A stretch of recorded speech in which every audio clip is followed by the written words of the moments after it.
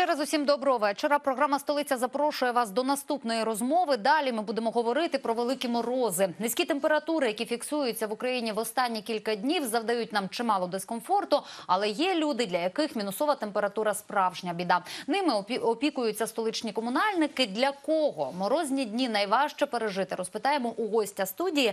До нас завітав Роман Ткачук, начальник управління з питань надзвичайних ситуацій міста Києва. Доброго вечер. вечора. Добрый вечер. 223 09 71. Маєте запитання, маєте якусь інформацію? Будь ласка, долучайтеся. Попереду у нас 20 хвилин для того, щоб і е, ви цікаву і важливу інформацію почули, і запитали те, про що хотіли запитати. Романе, за останні 5 днів, а за моїми підрахунками, саме стільки у Києві зберігається досить низька температура. На які виклики е, рятувальникам доводиться виїжджати найчастіше? Эм, Конечно, в связи с понижением температуры увеличилось количество пожаров, э, связанных с перегрузкой сетей. Эм, Это основные э, проблемы. Э, На праздники у нас была трагическая ситуация, связанная с рыбаками возле Труханового острова.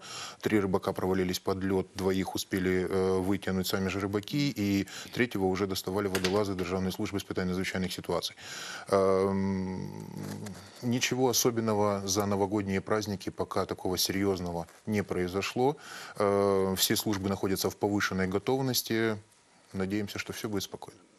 Е, дивіться, те, про що я говорила у своїй підводці, про людей, яким ну надзвичайно складно пережити такі температури, це безхатченки. Е, Що для них? Е, Тому що є інформація про 105 пунктів обігріву. Це для них чи це взагалі для всіх, хто потребує? Це для всех. Это для всех. Действительно, с наступлением э, сильных холодов в городе Киеве введены в работу 105 пунктов обогрева. На это, в этот год мы спланировали данные пункты обогрева в помещениях, которые относятся к Департаменту жилищно-коммунального хозяйства, Департаменту социальной политики, Департаменту охраны здоровья. Э, практика показывает, что установка палаток – это хорошо, но это кратковременная ситуация. Если же мы имеем длинный период, э, затяжные морозы, то в таком случае лучше уже стационарные помещения, в которых э, есть возможность отдохнуть, есть возможность попить горячего чая, нормальные условия, нормальные санузлы. Эм, Начали они на- начали работу со 2 января. На сегодняшний день, вот на 12 часов сегодняшнего дня, обратилось 126 человек в данные пункты обогрева Це по всему небагато, городу. правильно я так розумію. Ну в середньому по одному-два на, на пункт. Я думаю, все-таки по большому счету, что те люди, которые обращаются в данные пункты обогрева, это уже крайняя ситуация. Наверное, так. Е, Як інформуєте про те, що вони працюють? Тому що я сьогодні, от готуючись до ефіру з вами, там подивилася цей списочок, здивувалася, що в моєму ЖЕКові є такий пункт обігріву. От як кампанія з е, проходить з того, щоб людям розповідати? А, Действительно, мы прекрасно понимаем, что те люди, которые в основной своей массе э, в- будут пользоваться данными пунктами обогрева, они не смотрят интернет и они не читают Facebook. Конечно, на сайте КНД КМДА мы разместили данную информацию, на Фейсбуке она есть, но в действительности через Департамент соцполитики мы отработали следующий механизм. У нас есть места раздачи э, горячей еды. Це В так эти- званий соціальний патруль, правда? Да, да, социальный патруль, они полностью э, информированы, у них есть вся необходимая информация, это все доверено. Кроме этого, в больницах, э, в местах скорой помощи, там, где обращаются подобного, э, подобного рода э, мешканцы места, э, тоже размещена данная информация. То есть мы пытаемся э, напрямую донести до каждого жителя города. Давайте послухаємо мешканців міста. Добрий вечір вам. Добрий вечір. Добрий вечір. продовження вашої думки я хотів запитати вас.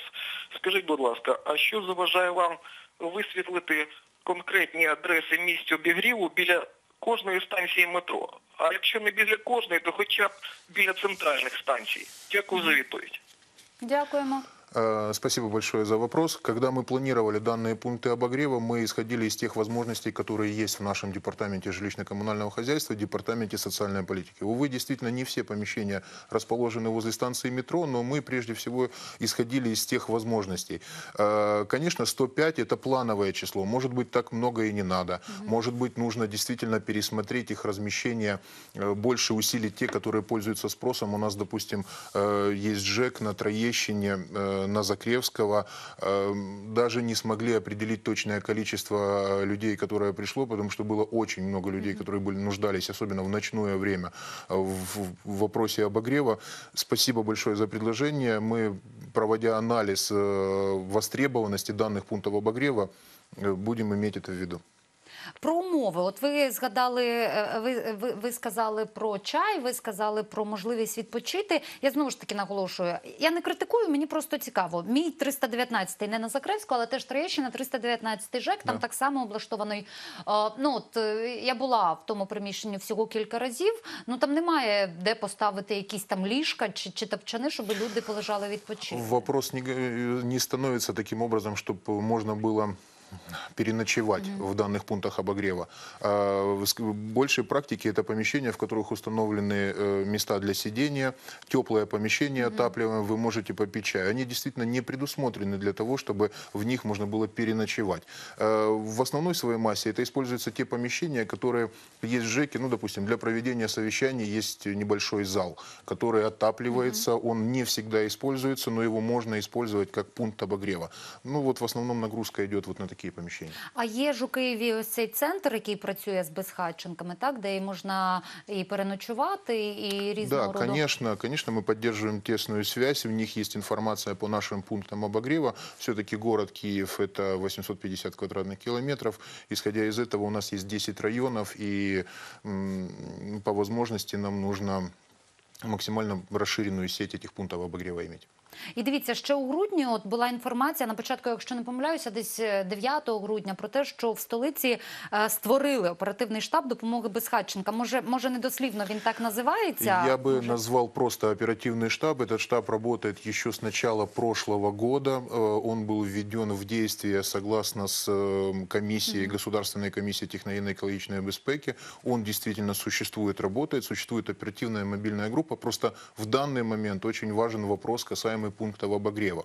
Но вместе с тем есть и постоянные аварийные ситуации, которые происходят, и порывы на теплотрассах, и обесточивание, на которые необходимо оперативно реагировать. Це ви теж е, ну надзвичайники рятувальники Если теж Киевэнерго и водоканалу необходима наша помощь, тогда мы совместно выполняем данные работы. Например, оползень на э, Червонозоряном проспекте, который у нас был, у нас был постав, мы поставили палатку, сформировали штаб и э, круглосуточно контролировали ситуацию, что происходит на Червонозоряном проспекте. Ну а якщо зараз говорити про морози, тому що я читала десь статистику, що от е, у ці морозні дні так само відбуваються пориви на теплотрасах, а- а це відповідно у людей немає опалення. Я правильно розумію? Очень оперативно реагируют. Вот не- была, была замена задвижки, э, Киевэнерго проводила работы, оперативно выполняются данные работы. Я не могу сказать, что произошло серьез- какая-то серьезная ситуация, связанная с порывом, которая надолго бы вывела д- дома без отопления. Если бы происходили такие ситуации, то однозначно было принималось бы решение по сливу отопления. Если этого не происходит, значит, не происходит, значит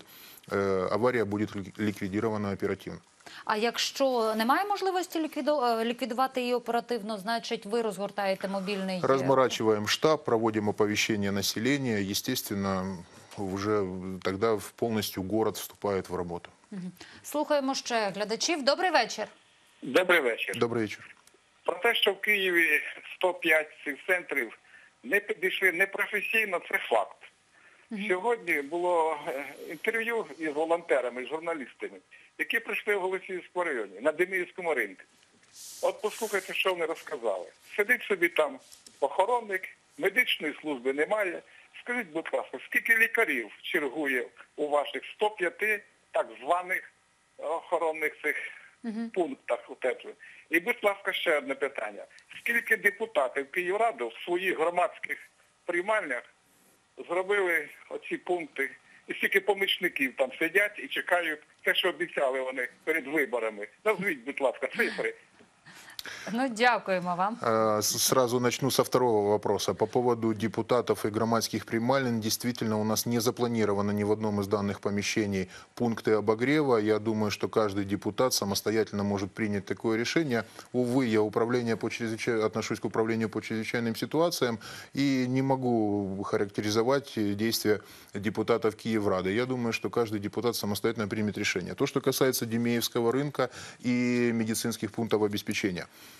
Действительно, мы предусматриваем, чтобы в данных пунктах обогрева э, дежурили либо врачи Красного Креста, либо сотрудники, э, те, которые обеспечивают работу данного пункта обогрева, 100% могут вызвать на себя службу 103, скорую помощь.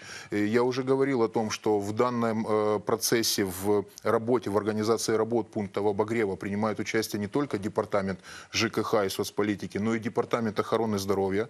У них точ- точно так же доведены данные адреса пункта обогрева. Если, не дай бог, что-то произойдет на данном пункте обогрева, реагирование будет негайно.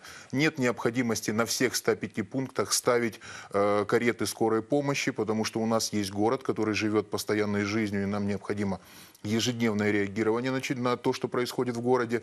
Если же что-то происходит на непосредственно самом пункте обогрева, то сотрудники данного пункта оперативно вызывают скорую помощь.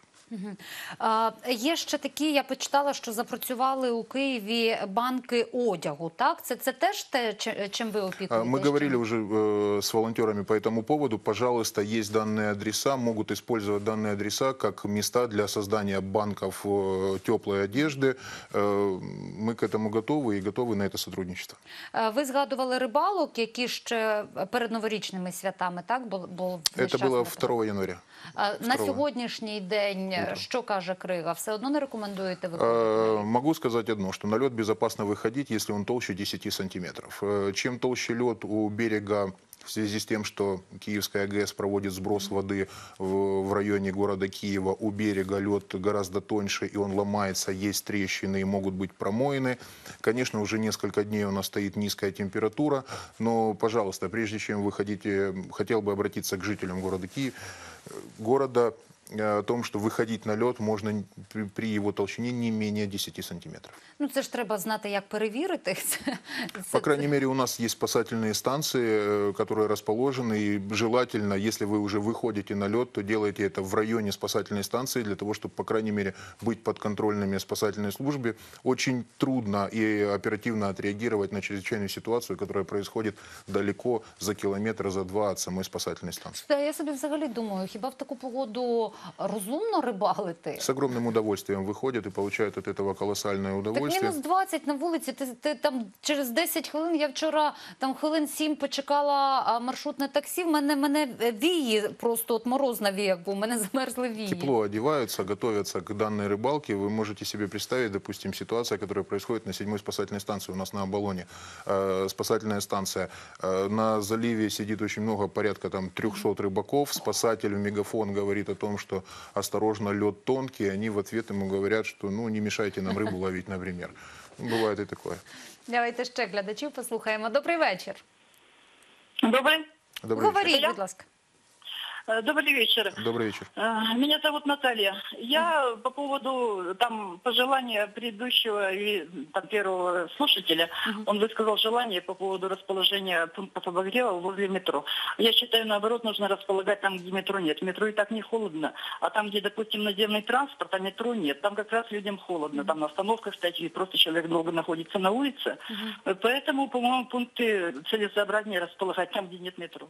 Спасибо Ну большое. трішечки не дочули. Глядач говорив про те, що оголошення біля метро е, розміщувати, а не, е, а не самі пункти. Хоча, хоча тут можна і запитання адресувати. А от як вибираєте, де саме облаштовувати такі пункти? Э, Я еще раз повторюсь, уже говорил, мы исходили из тех возможностей, которые есть у нас в департаменте ЖКХ и в департаменте Добре, а якщо про соцполитики. мобільні пункти йдеться, про ці А, палатки? Э, Мобильные пункты, и практика показывает, что вот в прошлом году Державная служба испытания надзвычайных ситуаций разворачивала эти палатки возле СДПЧ, возле своих же пожарных частей. Эм, При необходимости, если будет такая необходимость, конечно, мы готовы развернуть эти мобильные пункты, но сегодня при 20-градусном морозе содержание данной палатки очень, э, ну, очень проблематично и неэффективно. Дивіться, низькі температури, сильні морози це біда не тільки для безхатченків, а ще й для багатьох водіїв. От скажіть мені, будь ласка, якщо у мене не заводиться машина, чи можу я визвати рятувальників?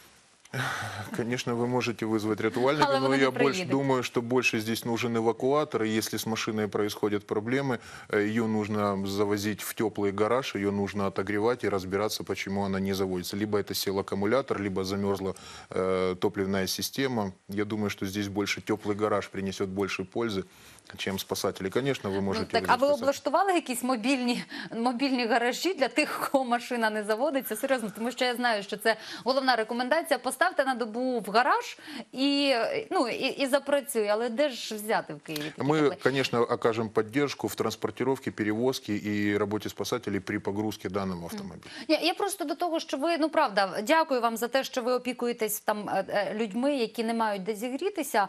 Ну там в основному це все таки безхатченки. Але знаєте, от, от нам, людям, е, е, які мають постійне місце проживання, теж хочеться якось відчути вашу турботу у такі морозні дні. Вы даже не- э, поверьте, что данные пункты обогрева предназначены для всех, и аварийно-спасательная служба, и вообще управление по чрезвычайным ситуациям работает для всех жителей города Киева. Ну так, але ж я не піду в ЖЕК пити чай, якщо я його можу випити вдома. Добре, це, це я вже так, знаєте, це я вже жартую з вами.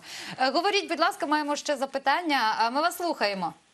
Алло, Да, Добрый да, вечер. добрый вечер. добрый вечер. Э, Скажите, пожалуйста, Роман, это вы для э, людей делаете 105 пунктов обогрева или для бумаги, чтобы почитаться перед э, э, Кличко? Ну, конечно, для людей. Все организации района написали пункты обогрева, указали там жилищные компании. А Печерский район дает адреса дружбы народов, керующая компания с обслуговывания жилищного фонда Печерского района. Когда эта жилищная компания находится на Марьяненко 7, и все адреса Печерские, вот, жилищная компания, жилищная компания. Пошел, посмотрел, нигде такой вывески ни на дружбе народа, ни на Примаченко нету. Это получается отписка, просто сделали, чтобы людей в оману ввели, и больше ничего. Ну добре, ми почули. От важливо. Спасибо большое вам за замечание. В действительности я хотел бы разъяснить. С 1 декабря такая вещь, как ЖЭКи, у нас перестали существовать. Э, Введены в действие так называемые керующие компании. И те адреса, которые указаны, это помещения, которые относятся к данной керующей компании. На данном помещении не может, может быть не написано, что это помещение керующей компании, но обязательно на данном помещении должна стоять маркировка, что это пункт обегриву. Если нет данного пункта обегриву, я сегодня же, сейчас через оперативного дежурного после передачи проверю данные адреса и насколько они э, нанесена ли на них маркировка. Спасибо вам за замечание. Дивіться, хочеться почути якісь загальні рекомендації, щоб максимально безпечно перебути ці морози. А ви, як ну можна я вас так образно, ну не образно, а як головний рятувальник Києва, от, от М, що просто- можете просто спасатель. що можете порадити? От якісь конкретні рекомендації людям? Конечно, постараться не переохлаждаться, не быть долго на данном морозе. Каждый человек ощущает вот ту границу, когда ему становится холодно. Лучше, может быть, спуститься где-то, зайти в торговый комплекс, зайти на станцию метро, зайти на пункт обогрева.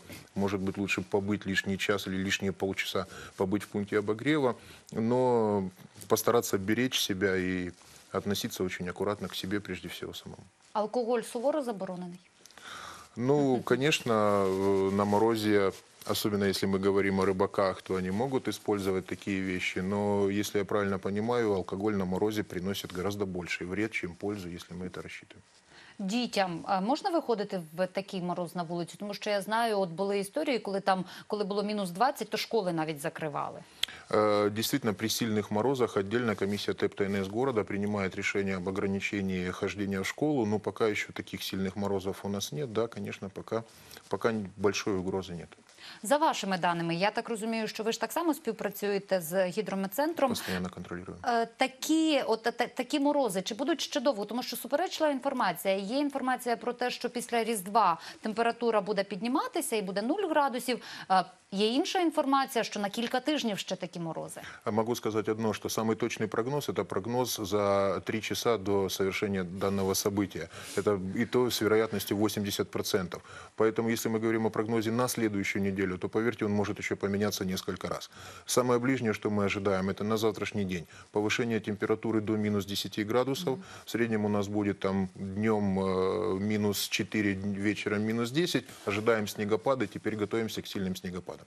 Ну я вам бажаю удачі. Спасибо. Е, Я, я вам бажаю хороших, сприятливих умов вашої роботи. Дякую за те, що ви робите. Глядачам нагадаю, Роман Ткачук, начальник управління з питань надзвичайних ситуацій міста Києва, був гостем нашої столиці. На сьогодні буду вам дякувати всім, хто нас дивився, хто до нас телефонував. Бажаю вам тепла в ваших домівках і побачимось завтра на телеканалі Київ.